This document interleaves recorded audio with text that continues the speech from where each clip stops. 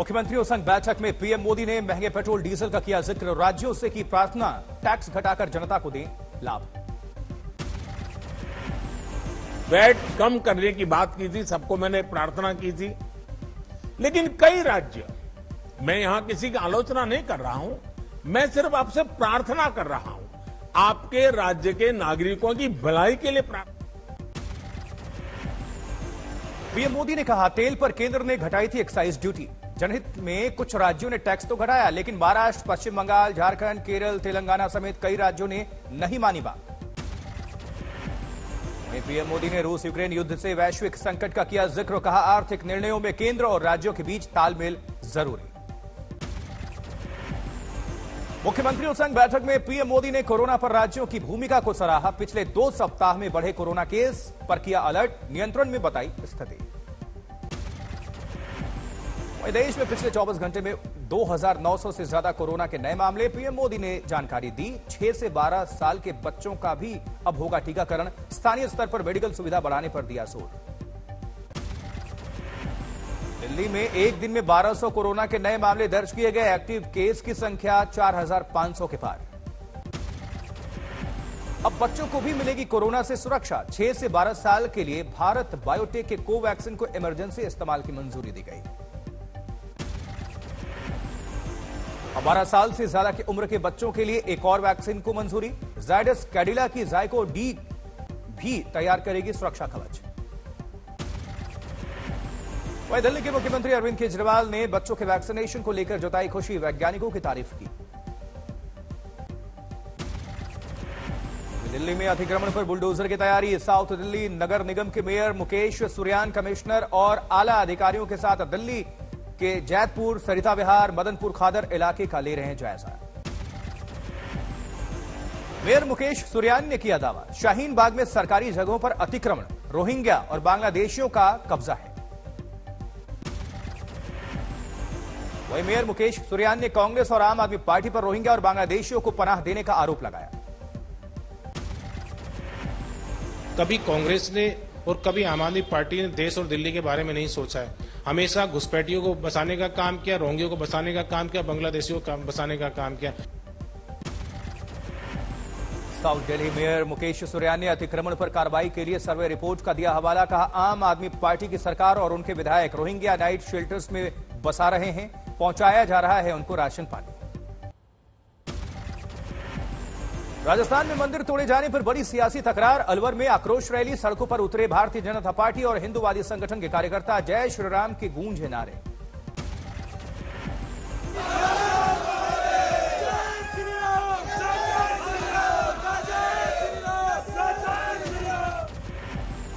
वहीं अलवर में शहीद स्मारक से कलेक्ट्रेट तक निकाली गई आक्रोश रैली। राजगढ़ में मंदिर, दुकान और मकान तोड़ने और नगरपालिका सभापति को निलंबन का विरोध। क्योंकि शहीद स्मारक पर पहुँचे सांसद बालकनाथ और साधु संत, हज़ारों की भीड़ के साथ। आक्रोश रैली के मद्देनजर अलवर में पुलिस प्रशासन अलर्ट, भारी सुरक्षा के बंदोबस्त। उत्तर प्रदेश में लाउड स्पीकर पर कसा शिकंजा। अलग अलग जोन में धार्मिक स्थलों से चार हज़ार दो सौ अट्ठावन लाउड स्पीकर उतारे गए। अट्ठाईस हज़ार एक सौ छियासी धार्मिक संस्थाओं के लाउड स्पीकर का वॉल्यूम कम किया गया। वाराणसी जोन में सबसे ज़्यादा एक हज़ार तीन सौ छियासठ धार्मिक स्थलों से लाउड स्पीकर हटाए गए हैं। मेरठ में 1215 और लखनऊ जोन में 912 धार्मिक स्थलों के लाउड स्पीकर हटाए गए वहीं शिवसेना वर्सेस नवनीत राणा की नई किश्त। नवनीत राणा का शिवसेना सांसद संजय राउत पर गंभीर आरोप, दिल्ली पुलिस कमिश्नर को चिट्ठी लिखी। नवनीत राणा ने संजय राउत पर जाति सूचक शब्द के इस्तेमाल और गाली गलौज का आरोप लगाया। अनित राणा के मुताबिक संजय राउत ने शिवसेना कार्यकर्ताओं को उकसाया, मेरे घर भेजा, हत्या की धमकी दी गई।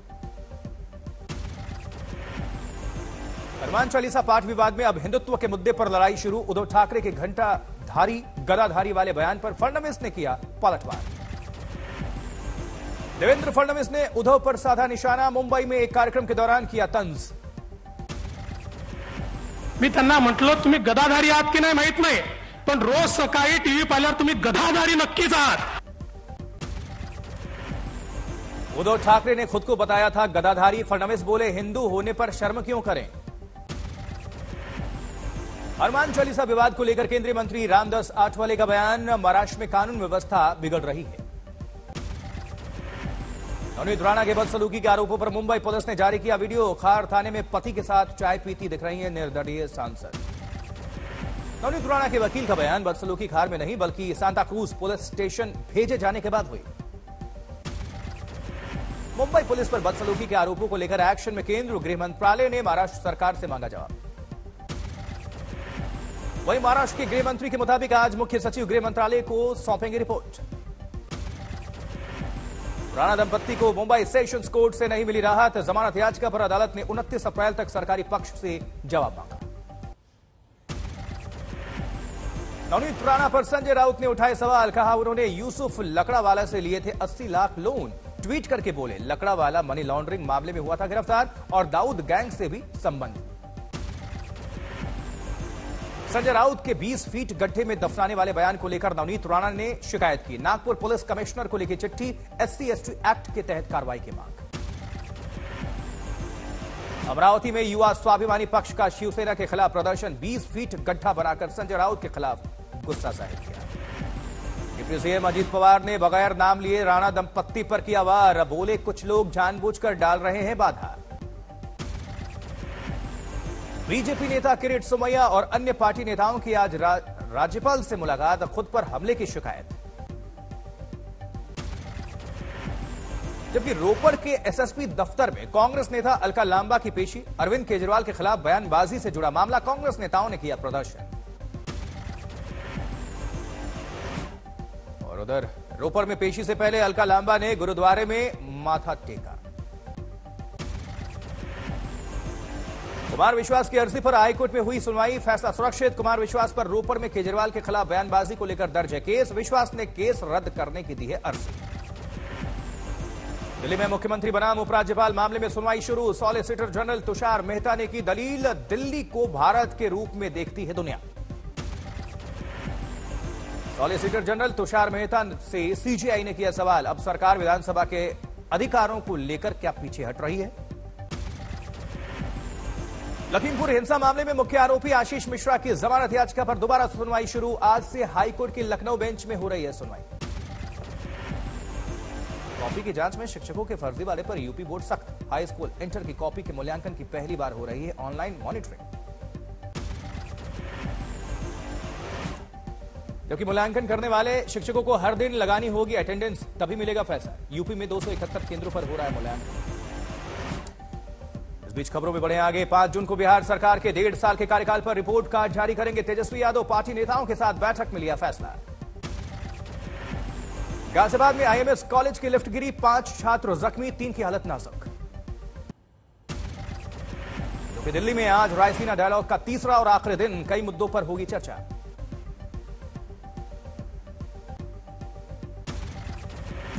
देशद्रोह कानून की वैधता पर आज सुप्रीम कोर्ट में तीन जजेस की बेंच करेगी सुनवाई। पिछले साल जुलाई में सीजेआई ने उठाए थे सवाल। गुरुवार को जेल से बाहर आ सकते हैं लालू यादव। झारखंड हाईकोर्ट ने लगाई मुहर। निचली अदालत में प्रक्रिया पूरी होने के बाद रिहाई। विधायक जिग्नेश मेवानी को पाँच दिनों की पुलिस हिरासत में भेजा गया। बरपेटा सीजेएम कोर्ट ने रद्द की जिग्नेश की बेल की याचिका। लखनऊ की मेदांता में भर्ती श्रीराम जन्म तीर्थ क्षेत्र ट्रस्ट के अध्यक्ष महंत नृत्य गोपाल दास की स्थिति में सुधार। डिप्टी सीएम केशव मौर्य और ब्रजेश पाठक ने की मुलाकात। अब खंडवा में सांप्रदायिक मतभेद। एक क्रिकेट टूर्नामेंट के दौरान मुस्लिम खिलाड़ियों और उनकी टीम को प्रतिबंधित करने का मामला सामने आया। मुजफ्फरनगर में दो मुस्लिम परिवार के आठ सदस्यों ने हिंदू धर्म अपनाया। शुद्धिकरण और मंत्रोच्चार के साथ बदला धर्म। महाराष्ट्र के औरंगाबाद में अजान के वक्त स्पीकर पर गाना बजाने को लेकर रेलवे पुलिस और पीएसआई के खिलाफ केस। बीजेपी ने कहा, झूठा मुकदमा वापस हो, नहीं तो होगा आंदोलन। मुख्यमंत्री नीतीश कुमार ने सीतामढ़ी में पूर्व सांसद नवल किशोर राय को श्रद्धांजलि अर्पित की। कार्यक्रम के दौरान पुलिस के रवैये से नाराज़ हुए कार्यकर्ता। अकोला के पालक मंत्री बच्चू की बड़ी मुश्किलें। कोर्ट ने रास्ता बनाने को लेकर पैसे के गबन में केस दर्ज करने का आदेश दिया। देश में अब छियासी प्रतिशत आबादी को लग चुके हैं कोरोना वैक्सीन के दोनों डोज। केंद्रीय स्वास्थ्य मंत्री ने जानकारी दी। धौलपुर पानी की किल्लत से लोगों की बड़ी परेशानी। कई किलोमीटर से पानी लाने को मजबूर हैं लोग। सीतामढ़ी में गेहूँ के खेत में उठे शोले। कई एकड़ फ़सल तबाह। दमकल की गाड़ियों ने पाया काबू। जबकि कोटा के रानपुर इलाके में डेढ़ साल के बच्चे को पानी टंकी में डूबकर उसकी मौत हो गई, परिजनों ने हत्या की आशंका ज़ाहिर की है। जाँच की मांग। नागपुर में नाबालिग छात्रा से गैंगरेप, प्रेमी पर तीन दोस्तों संग गैंगरेप का आरोप पुलिस ने तीनों को किया अरेस्ट। एक ही परिवार के तीन लोगों की हत्या से दहला गोरखपुर। आपसी रंजिश में माता पिता और बेटी की धारदार हथियार से काटकर हत्या। गए रात में मंगरा था उसके घर शादी था। वो गए रात में, उसके बाद वो सब पहले से प्लान बनाए थे और सर बीच रास्ते में वो सब वो काट दिए सब माँ, बेटी और बाप को। गोरखपुर में तीन हत्याओं के बाद इलाके में भारी पुलिस की तैनाती, एक आरोपी गिरफ़्तार हुआ इस मामले में। उधर कानपुर में चार लड़के गंगा में डूब गए, दो लड़कों की मृत्यु हो गई है, दो को रेस्क्यू किया गया बचाया दिल्ली के भलसवा इलाके में कचरे के ढेर में आग लग गई, धुएँ ने बढ़ाई मुसीबत। अयोध्या में अमन चैन बिगाड़ने की बड़ी साजिश। दो मस्जिदों समेत तीन स्थानों पर फेंके गए अभद्र टिप्पणी वाले पर्चे। सीसीटीवी अराजक तत्वों की हो रही है पहचान। गुहाना में फिक्रेबाजी से परेशान दो छात्राओं ने एक युवक को पीटा, वीडियो वायरल। बिहार के गोपालगंज में भी चला बुलडोजर। लालू के पैथरे गाँव में प्रशासन ने सरकारी ज़मीन पर बने मकान गिराए। कोडरमा के सदर अस्पताल में बद इंतजामी के खिलाफ लोगों का गुस्सा फूट गया। कर्मचारियों के साथ मारपीट हुई। यूपी के ललितपुर में बेकाबू बस पुलिया से नीचे जा गिरी हादसे में चार लोगों की मौत। वही वाराणसी में अब ज्ञानवापी मस्जिद में हो सकेगी वीडियोग्राफी। कोर्ट ने अपने पुराने आदेश को जारी रखा है। करौली हिंसा में साठ संपत्तियों के नुकसान पर एक करोड़ बीस लाख मुआवजा, सत्रह घायलों को ग्यारह लाख की मदद प्रशासन ने जारी किया आंकड़े। पीलीभीत में गोद तस्करी के आरोपी की करोड़ों की संपत्ति कुर्क, मकान दुकान प्रशासन ने किए सीज। बिहार छपरा के अमनौर में फिर तमंचे लेकर बार बालाओं के साथ झूमता नज़र आया युवक। वीडियो वायरल, पुलिस की कार्रवाई की तैयारी। जबकि सांगली में हैरान करने वाली वारदात, चोरों ने पहले बुलडोजर चुराया, फिर उसी से एटीएम को उखाड़ा, लेकिन मशीन नहीं टूटी तो बच गए 27 लाख रुपए।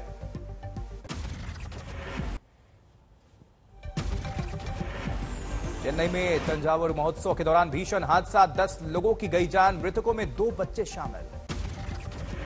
महोत्सव के दौरान रथ खींचते वक्त हादसा हो गया। रथ में दौड़ा करंट, करीब 50 लोगों को लगा झटका। मॉस्को में संयुक्त राष्ट्र प्रमुख ने पुतिन से की मुलाकात। रूसी राष्ट्रपति ने मारियापोल, बुर्चा में बर्बरता के आरोपों को किया खारिज। कराची में चीन की फंडिंग से चल रहे टीचिंग सेंटर के पास हुआ धमाका। तीन चीनी नागरिकों समेत चार लोगों की मौत। बलोच संगठन ने ली कराची ब्लास्ट हमले की ज़िम्मेदारी। टीचिंग सेंटर के पास खड़ी महिला फिदाइन का वीडियो आया सामने।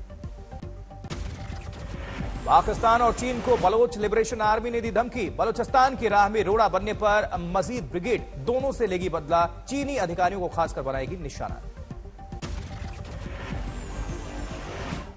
belong to.